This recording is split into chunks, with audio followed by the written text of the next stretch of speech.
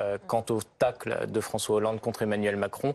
Euh, moi, je pense euh, que quand son quinquennat a ressemblé à un anti-manuel de communication politique, il devrait être humble aujourd'hui à l'égard des fautes qui ont pu être commises par Emmanuel Macron. Parce qu'au fond, ce qu'on retient de cette séquence, c'est d'abord qu'une bonne retraite est meilleure qu'une mauvaise résistance. On va revoir les images d'Emmanuel Macron.